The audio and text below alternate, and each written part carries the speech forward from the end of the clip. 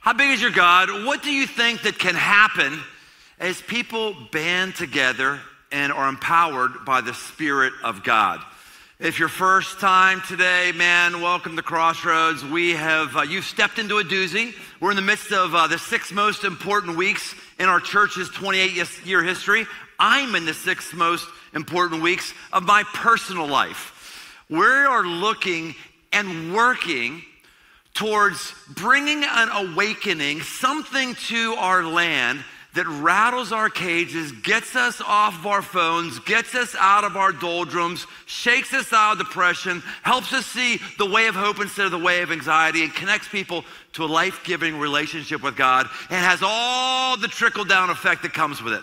I'm going to talk about that right now, and let's pray before I go any further, all right? God, you are really, you are, you are, you're big. You're very big, and you are empowering, and you're also patient and you're kind. Be patient with people like us that sometimes are just two heads down and too thick. Be helpful to me as I try to communicate to your people and be helpful. And may all of us, God, have our hearts inclined more towards you.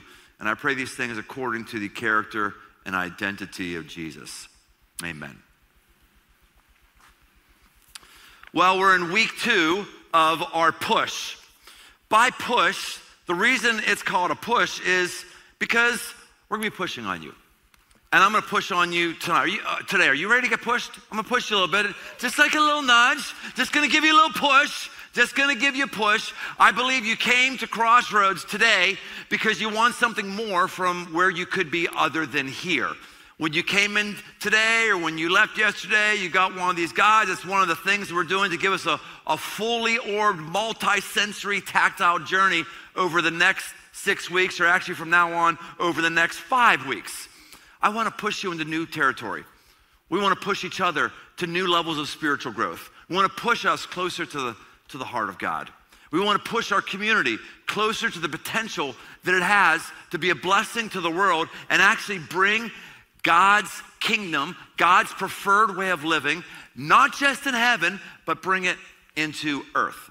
Jesus talks about this kingdom again and again and again and again, and he does all he can to talk to his people to help them understand God's plan for our life and how we should and can be living differently. To do this, he would use stories, he would use parables. He didn't have screens and hazers and that stuff. He used what he could in the countryside, which was stories, also known as parables.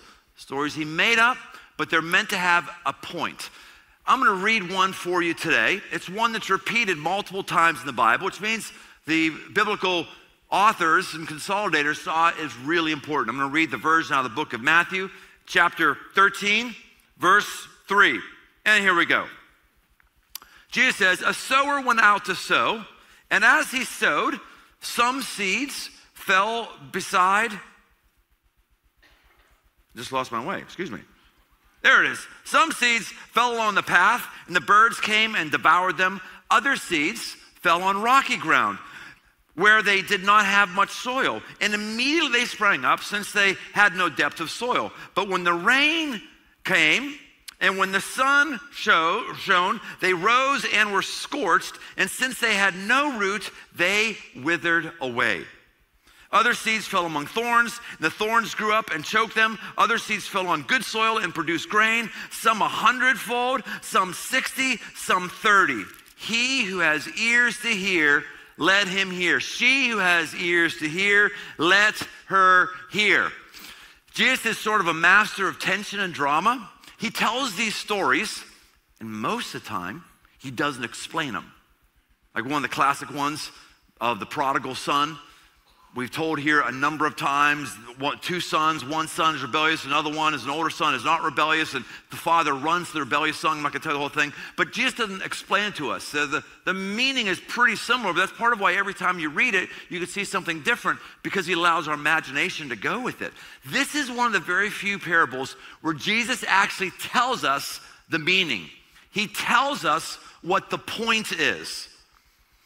There are four types of people, according to Jesus, four types of people in this world those who can count and those who can't. Four types of people in this world he, he refers to them, he refers to us rather as the as the four soils. And there's a there's a there's a sower who, who represents God, and God has seed, and the seed represents the word of God, the truth of God. And God is going around, and I know some of you ladies are going to hate it, but get over it. God goes around. God goes, you want that? You want that right there, James. Bam, right for you. God, God goes around and he just puts out his truth. Hey, I'm the way, the truth, and the life. Hey, I have, I am a God of compassion. I am a God of forgiveness. This is the way that life works. He goes out sowing his seed all over the place, and how it lands, the kind of person it lands on will have four different reactions. And our reaction is based on the heart that we have, the heart that has been cultivated. You can throw out truth all you want, but if it doesn't land on a heart that wants to receive it and is ready to receive it, then it doesn't mean anything at all. Let's hear from Jesus who these soils are, what they represent. I have them represented over here right now. Let's just let's just read what he says. Let's have him dummy proof it. Here's what he says. Hear the parable of the sower.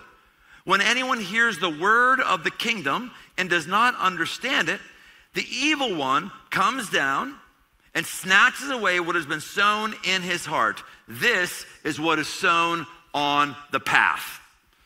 So here we have the path, and it's it's it's really hard. It's it's batted down, and because people are walking on it all the time, it's it's smushed down. It's you know all the traffic. It's it's it's hard, and the and the seed falls on there, but it it can't go anywhere nothing takes place. Why does nothing takes place? Because there's an evil one who's very hungry. That evil one's known as Satan, the devil, the adversary, the deceiver, all different kinds of names for him that are in the Bible. And what he does is when we hear something that's truth, hear something that's God, before it sinks into our heart and transforms us, he comes down and takes it away. He snatches it away before it gets down inside of our heart. This is sort of what cynicism does. Cynicism is a condition where it doesn't matter what hits you. You're like, oh, I don't, I don't know if that's true. I, I, really, I don't know. Hmm. Uh, I mean, cynics, cynics are really, really bothered by, by, by this, this push right now because cynics think that the moon shot was a hoax. Cynics are always looking for a conspiracy. Cynics are always feeling like someone isn't being truthful, someone isn't saying what needs to be said. It's really, really weird. I know people, I know people who have been big UFO people for a long, long, long, long time. Until when? You know until when? Until the government came out about a year or so ago and said, yeah, there's some stuff we're discovering. We don't understand. Probably there's UFOs. And then these same people, and oh, there's no UFOs, can't be any UFOs.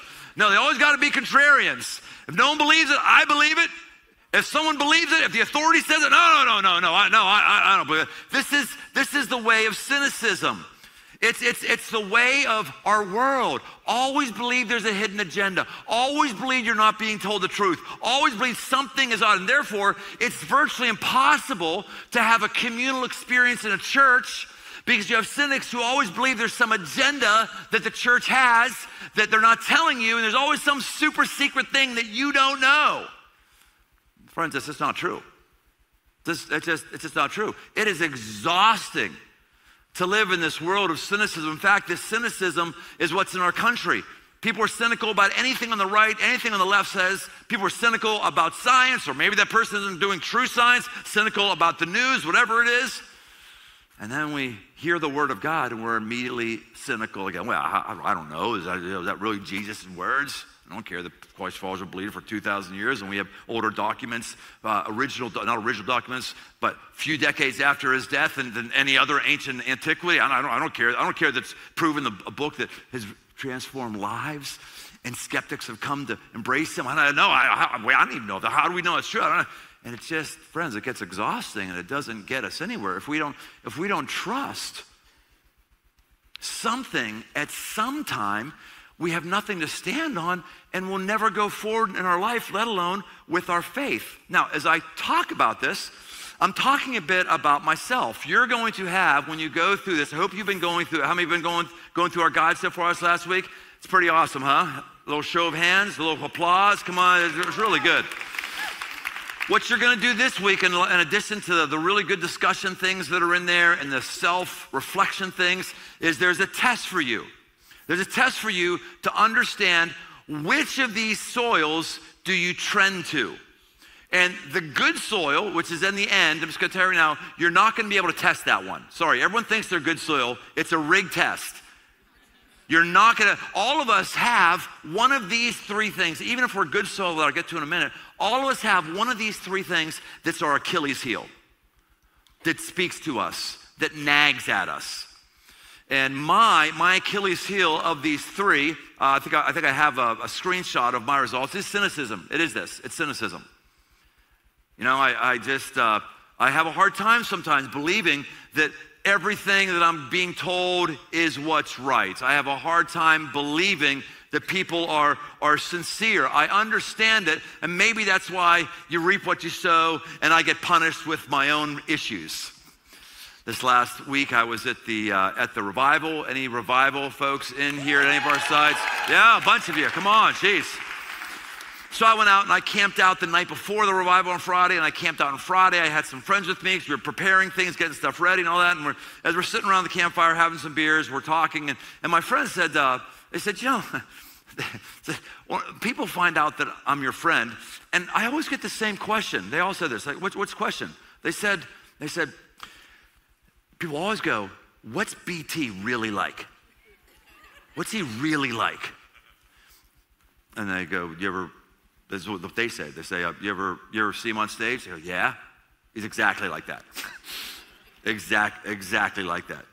And it came up because I had, uh, I do this uh, multivitamin drink called AG1, and I was, you know, I was drinking. I have it even when I'm, even I'm away. I'm doing it. I, it's on. They sponsor the podcast that I do, and, and people, people are going, like, he doesn't actually drink AG1. And they see me on a camping trip in the middle of nowhere pulling out my thing. That's what reminded them. Like, no, no, no. If he says he does it, he actually does it. Maybe it's because we see very few people have their words match their life. Maybe if that's, that's what our problem. Maybe our problem is we have shame because my words don't match my life, so certainly nobody else's words can match their life. Whatever the reason is, it's still the same root cause. There's an evil one who wants to pluck away the truth of God. We want to see the truth of God get into 10 times as many lives as is getting into right now through our church. 10 times as many. That's what we want to see. We feel led there by God. And to do that, we've seen that there's four territories, if you will, four areas that we have a disproportional impact on. Four of them. And they're not the ones you might think. Um, one of these territories is not preaching. I'm a capable preacher. Kyle is as well. Others are Chuck. Others are as well. But like, no one's inviting us to conferences to speak. I love our music. It's great music. It's, it's awesome. It's awesome. And we can't get a, we can't buy a hit on Spotify or YouTube. Other churches can, we can't. I like the music. I don't understand. It's really, really good, maybe great, but we're not having a real impact in terms of our music and our messages in ways that we are in four other areas, four territories, if you will, that's sort of our ground, ground that God has given us, ground that we can have a unique contribution in. And we're going to look at just one of that territory tonight because it actually relates to our soils. Let's look at the territory of camps. In the book of Isaiah, God's call to think bigger and push for more is clear. Enlarge the place of your tent is an exhortation to expand the territory God has already given us, the place where the favor of God has collided again and again with the gifts He's put in all of us, producing supernatural results.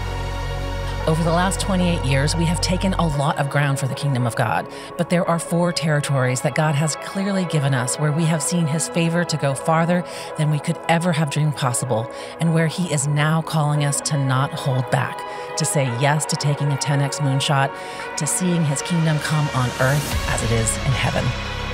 Through inspiring camps, we're seeing spiritual, emotional, and relational breakthroughs. Crossroads camps are only in class, and we believe God wants us to take things even further.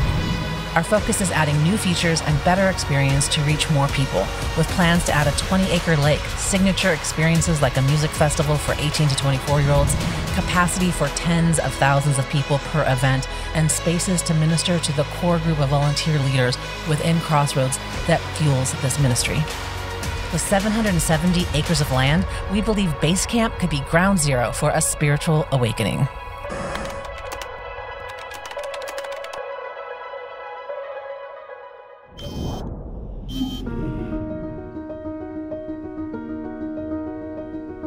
So at 18, I enlisted in the Army. About halfway through basic training, I got what's called a Red Cross message, which is a family emergency. Immediately called my mom, and uh, she informed me that my uncle was murdered. I remember feeling alone. Basic training is not the, the place to show your emotions. It's not the place to feel those things, so I just kind of bottled it down inside. Uh, I was very angry. Um, confused, hurt. I came home after basic training, started drinking very heavily. I knew something was, was happening with PTSD when I started experiencing some pretty bad nightmares. Rock bottom was, I didn't think there was anything else for me. So I attempted to take my life. My, my roommate found me and um, said, hey, you're gonna, you're gonna go to church with me. We're gonna get you connected to some form of community. Uh, it was Crossroads Uptown. Went there, got plugged into an awesome small group, ended up uh, signing up for college camp, I had a great experience there, but I was still dealing with a lot of things that I was not at the time willing to bring to light. That came up in nightmares, it came up in the shadow in the corner of the room. In every single crowd I walked into, there, there'd be a threat. I took the PTSD screening, 30 being the low end, 80 being the high end, and I scored a 78. The predominant thing that it stemmed from was the death of my uncle, but I really felt like God was going to meet me at man camp. Camping around a fire, talking about what's actually going on in our lives. That was like the first time that I had really opened up to someone other than my therapist about what was going on I felt seen, I felt heard. So I decided to go to the prayer tent because I was just going to model it for my group. I had no expectations for myself, and I spilled my guts. I, I, told him everything about my PTSD diagnosis, the suicide attempt, I told him everything. But then he asked to pray for me. Tried to do this without crying. Um, he asked to put his hands on my head, and he started praying this prayer to heal the neurons and the neurological pathways in my brain that were hyperactive because of the PTSD. He said, Lord, just allow Brandon's brain to work the way that you intended it to work, to go back to its original purpose. And I remember looking up while he was praying and his, his hands weren't there. I asked him, when did you take your hands away? He said, soon after I started. So, well, I still feel hands under my hat, moving through my hair. Like I still feel these warm, comforting hands on my head. And I just looked up and I felt the breeze for the first time. Felt like in forever. I just felt lighter, felt comfort, I felt loved. And then he asked me if there's anybody I wanted to forgive. and um, I said, I, I think I need to forgive the man that murdered my uncle. And I did. And I you know, didn't realize how much hate I'd been holding in my heart for a man I'd never met. And uh, just felt light. Well, a week later after man camp, I, I went to my therapist and you know, I, I'd like to take the PTSD screening again. I took the test and I no longer qualified. I think the score was 10. Felt incredible to feel God's presence and just know that He has, one, been with me the whole time, and He wanted to heal me. I just had to ask for it. It makes me feel grateful that a lot of people have gone before me to give their time money, energy into uh, the camps so that I could come to a place to experience a miracle, uh, experience um, a new life. I see hope for a future, my tithe and my finances. I want to keep pouring those things into camps so that somebody like me can experience what I experienced. Man. Oh my gosh, that's so good. Wow. Wow. There's something magical that happens when you get on our land and get out of buildings. At our camps, we don't have any Crossroads logos. It's not Crossroads branded. It, we just want to touch people, not put anything else in their way. And there are some crazy healings that have been happening. Now, healings are known as miracles because they don't happen a lot. Don't think that if you do the right hocus pocus prayer, then you're going to have one. Don't get bitter if you don't have one because they're called miracles because they don't happen that often. But I'll tell you what, some of us in here, we listen to that story and we go like, oh, come on, really? Really? I don't know. I think he just probably had a, a good day when he retook the test. I think it's just his emotions. Really, where, where the, let me tell you something. Let me tell you something. If that's your thinking, that's exactly why you don't pray. That's exactly why you don't have answers to your prayers. Because you don't believe. You have a hard heart. You got just soft enough of a heart to actually call yourself a Christian, barely. But when's the last thing you asked God for? You probably don't ask Him for anything because you're cynical He would do anything. Billy Graham said, Heaven is full of answers to prayers to which no one bothered to ask. The first night at the revival, I had everybody take 30 seconds, just ask God something. It was a simultaneous thing, went on. A mother uh, told us that her 15 year old son, for the first time, asked God for something he hasn't been able to smell or taste for, I think it was four years since he had COVID. And he just asked in that tent, and boom, nostrils opened up. He could smell everything in the tent. It was amazing. At any point, you can applaud for this, because this stuff is real. This stuff is real. We need to see that being the police that finds something wrong with things is not a spiritual gift, it's a curse. It comes from the evil one. That's what he does. He finds things that are wrong with you and makes sure he points it out.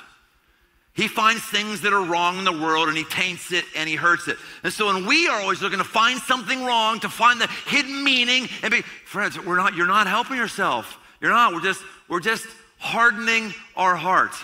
That's cynicism. By the way, this is one of the, one of the cooler stories. Uh, because we had people from all different places, not just part of Crossroads, that came to the revival. About, about, we're guessing about 8,500 people over the course of two days come.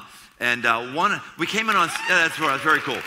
We had, uh, we thought, the cynical me, and many of us around here thought, you know, we're going to have a Friday night thing, a Saturday night thing. Weekend service is going to be really limping and lame, and it's the beginning of the push. That's a bummer. And we said, well, uh, whatever. We're just going to serve God any way we can. Oh, stupid us. We had a growth spurt last weekend. After people were on Friday night, Saturday night, we had a 15% growth spurt on Sunday. People didn't just stay away. They said, no, I want, I want more of God.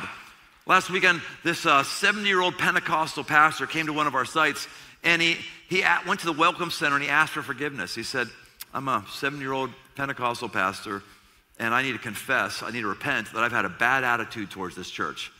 I've never been here. I just assumed it was big and just was not giving truth. And what I experienced the revival blew me away. I just came here to say, I'm sorry. I need to repent to somebody. And he said, and then he said, would, would it be okay if I just sat in the back rows for a few weeks just to kind of sit here? Of course, of course. That's a tender-hearted man. You can change soil, okay? That's not the point of the parable. The point of the parable is God. The point of the parable is God. No matter what your soil is, the point is God keeps giving you more. God keeps giving you another shot.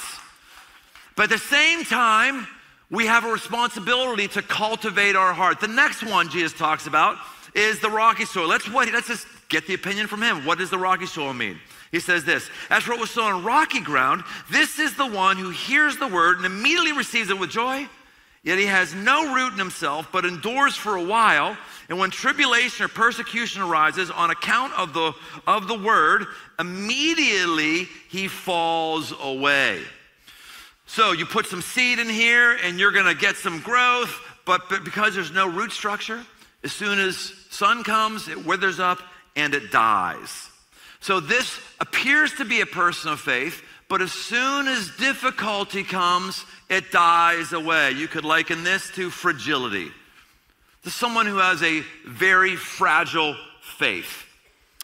Uh, it could be, uh, it could be, uh, I had a health issue, or my loved one had a health issue, and God didn't heal me, so forget God. Really, it's a fragile situation. All the greats in the Bible had horrible things happen to them. That's why they're the greats. Horrible things happened to them. Many of them didn't get resolved but they persevered because they had roots. When we get when we get upset because something in our way, we're just we're just tipping or telling everybody, hey, I'm rocky soil. I have no roots, I have no depth to my faith because I can't handle it. Or reject the word. Like the number of people have left crossroads because we actually say something in the Bible and someone doesn't like it and they don't want to be here. That's what he says, the word. I, love people. I love people who aren't heterosexual. We have people in our church who aren't heterosexual. And, uh, and uh, we're for all people. And God has a, a design that He's very clear on with sexuality, very clear on. And the people I've met who just had their heart, their, their faith shipwrecked over that is crazy to me. In other words, you wanted to be in step with what everyone else believes in culture, you don't want to be in step with God. And Jesus talks about this that we've got to have roots to where we get persecuted. And if we get persecuted, we stand because we have roots. Man, I know, I've known some amazingly charismatic Christians who fall away. And by charismatic, I'm talking about big personality, I'm talking about winning smile. But man, as soon as hard times come, gone. Gone. I, I've known people who've been Bible scholars and could beat me in Bible trivia. But something comes up, scorching wind they can't have, boom, gone because they look good, they've got the word, there's no roots, there's no depth. Mile wide on knowledge, on personality, on smiles and stories, but an inch deep in terms of, in terms of root structure. Not good. The third soil that, that Jesus talks about is the thorny soil. Let's, let's read what the thorny soil is. As for that which was sown among thorns, this is the one who hears the word, but the cares of the world and the deceitfulness of riches choke the word, and it proves unfruitful. The thorny soil has just, there's a lot going on here, isn't it? Like this one's pretty barren, this one's got nothing. There's a, there's a lot going on here because there's a, there's a lot of distractions, a lot of things that are popping up all over the place. And what happens with this is when something starts to seed, something starts to pop up, it gets choked out because there's too much going on. This actually, in many ways, is a picture of America. Everyone has a different agenda for what America is supposed to be. Everyone's going a different direction, and we're all choking out one another. We've never been more polarized than this, and it, it affects our faith. It affects our relationship with God. One of the great things about the space program was even though there was some dissenters who said, hey, we're spending a lot of money. It's a good conversation to have. We're spending a lot of money. There's probably some things we can do here in our own country rather than try to get some rocks in the moon. It was a really good voice. It's a really good debate to have.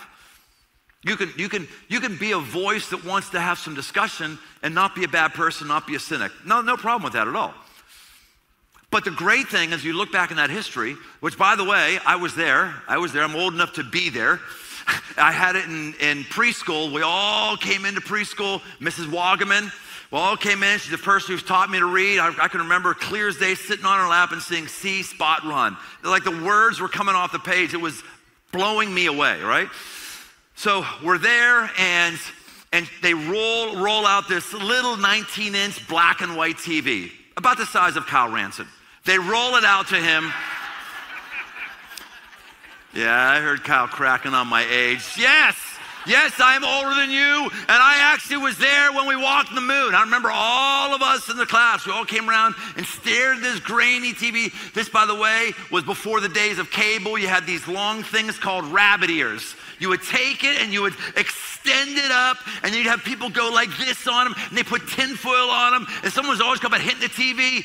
That was back when America was America. It was, it was crazy back then. It was, it was a wild, wild west. And we all sat there in awe as we could barely tell what was happening on the, on the screen. But all of America did that.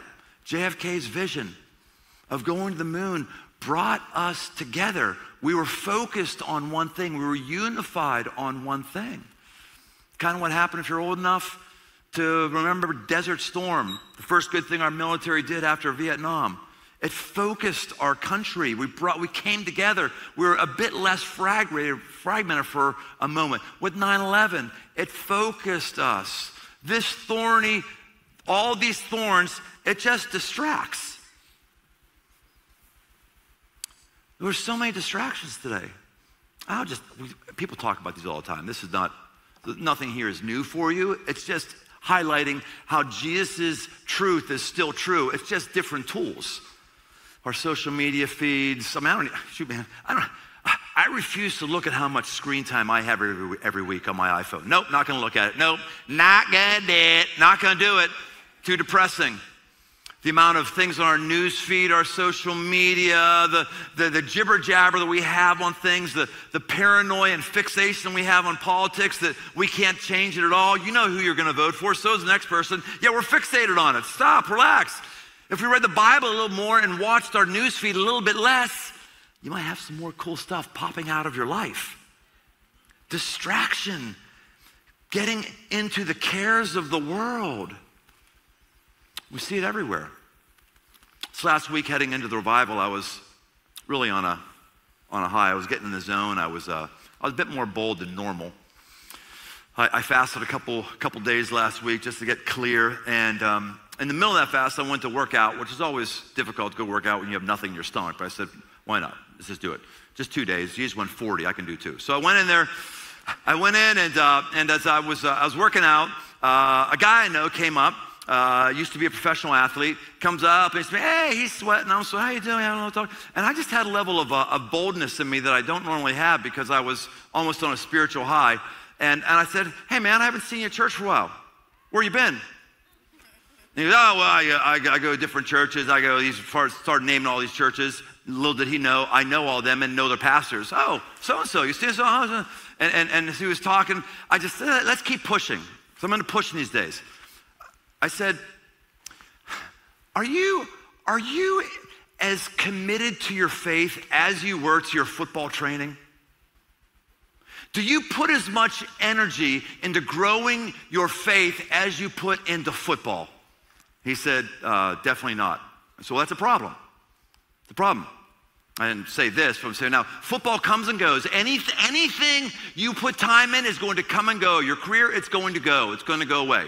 Your spouse, they may die before you, they go away. Every, anything you put time into, anything you put energy, as valuable and as good as it is, it's going to go away. The one thing that's not going to go away is your relationship with God. And yet, we use it, look at it so lackadaisically. Like, okay, if I got nothing else going on, I'll go there. One of the cool stories I got from the, from the, uh, so many of them because they keep coming in, flooding in from the revival, is uh, a young family said it was my son's first time to have an indoor lacrosse game. And they said, No, you're not going to go play indoor lacrosse. We're not going to have sports rule this family. Uh, we're going to revival as a family. And God showed up and brought their family together. And then and the kid's like, Dad, I don't want to go to practice tomorrow. Can I, can I, can I come back here on Saturday? When's the, when's the last time you chose God over anything else that you always choose? What's the, la- what's the last time you said, No, that's a distraction? That's a distraction. God's my priority. Can you identify a time where you chose God over something else that was a good option? If you have a hard time doing that, this might be your Achilles heel. This. See, it's not it's not what we say. It's not what we intend. It's not what we believe. It's what we do. It's what we do. This uh, is part of the story of a, of a couple women whose, uh, whose hearts I find really impressive.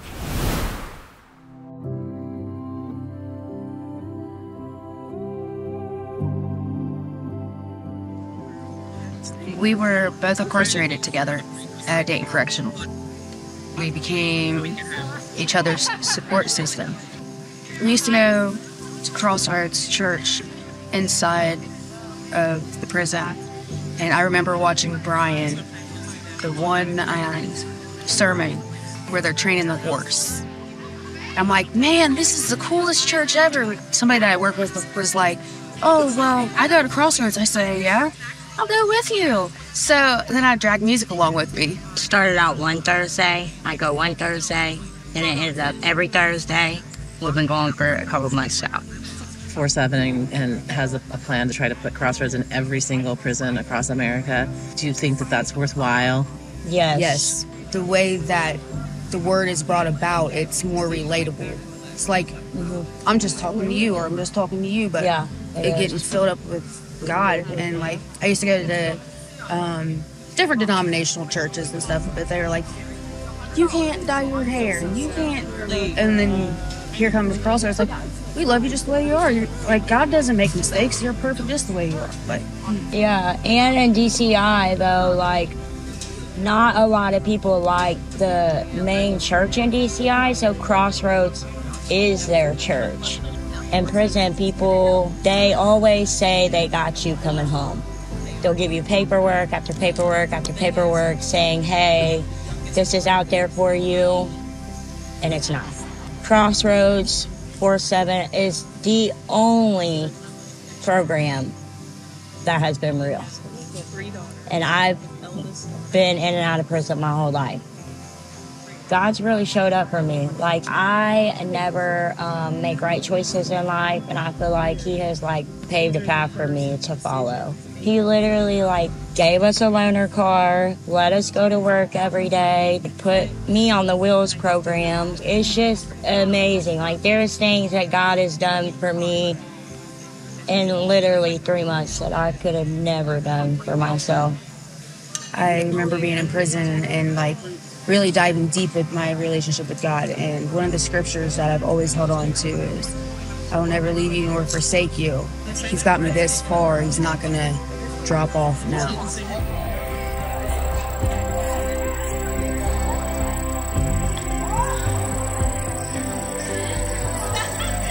I did get to experience it.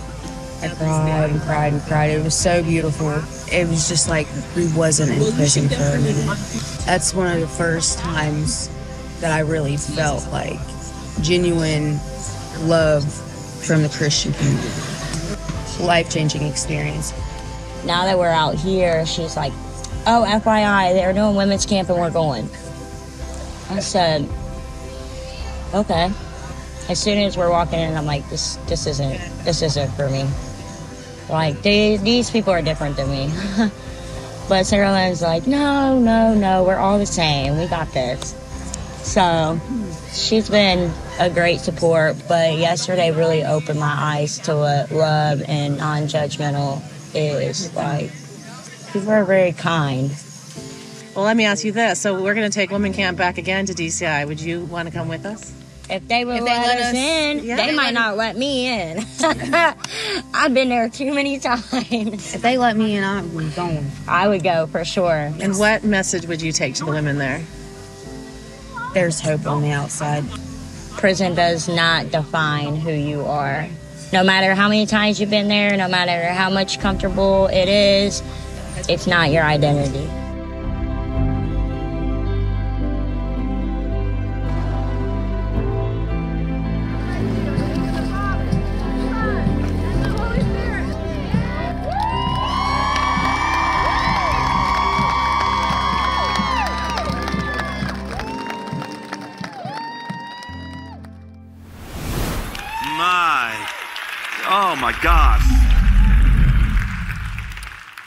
Music said something that was very damning to those of us who are Christians.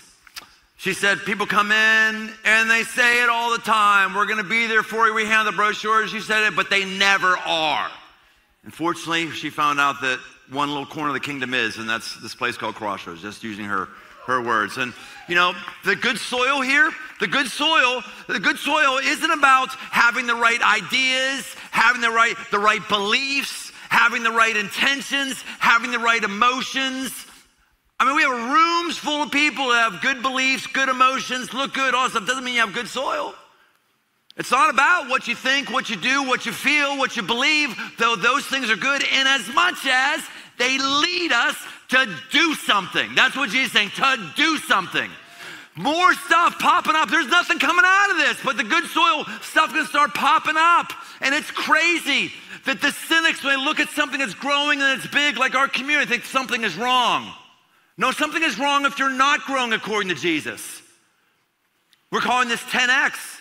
I, I quite frankly feel like I have to tell God I'm sorry because he doesn't even give 10x as a possibility. He says 30, 60, 100x. 30, 60, and 100x. How big's your God? How many, how many musics do you think God can get a hold of? How, how much do you think God can use you in your life? Are you in that? Can you identify the last person you shared your faith with? You identify the last person you prayed for? Can you identify who it is that would look at you and say, that person's making my life better? That's what Jesus is saying. That's the indication of a good heart of a heart that opens and receives the Word of God because they do something instead of finding what the hidden agenda is, instead of flaming out as soon as things get tough, or just, oh, where's, oh, a squirrel, little squirrel, look at over there. I think that's why we're here as a church. Uh, we're here, whatever it is, to just say yes to God. Say yes, yes, yes, yes. And a lot of things we've said yes and we've done, they failed. Because on the front end, we said yes, yes, yes. That's what a follower of Jesus does. That's what someone who wants to come to Christ says. You say, Yes, Jesus, yes, I want your grace. Yes, I want that forgiveness. If that music can get forgiven, she's done worse things than me. Yes, I want forgiven too. If she can smile, I should be able to smile. Jesus, come, do something in me. Saying yes. That is the key discipline to good soil in moving. When you, when you leave today, if you want to say yes and you want a little memento just for the rest of our journey to put it wherever you want to see it, we're going to give you this patch. And this is not your time to get a freebie. This is if you're saying, I A, I'm either going to say yes or I, I, I need to, I'm not sure I can, but I want to put it near a place where I see it and I'm asked the question all the time because all of us want to be that good soil, right? All of us does. And God has plans for you. It doesn't matter. It doesn't matter where you are with these other ones. God, God still will give. He, he will still give you opportunities. He'll, get, he'll still give you chances. But we got to want it. We've got to be willing to step out from the crowd. That's what Jesus is saying to us, and that's what we're doing as a church the next five weeks. We're stepping out, friends. We're not, we're not doing same old, same old. We're going, we're going further. We're going a different place. And, uh, and, and, and, and we need you. We need you. Because the truth of the matter is, all the musics that are out there, all of us get to participate in it. All of us. All of us get that win because we all contribute here in some way, shape, or form. All of us get the wins because it's a team. It's the kingdom of God, and that's who we are, and that's what we're a part of. Let's go. Let's go. God, thank you for thank you for your patience and thank you for your grace. Thanks for the seed you've thrown. Keep it coming, God. We need it, and we're thankful for it. Keep it coming. And we look forward to seeing what you're going to say to us and what we're going to do. Many of us right now, we choose, I say, I don't know what it is. God, just ahead of time, I say yes. Yes. I say yes. Help us remember what we need to remember. And I pray these things in the name of Jesus. Amen.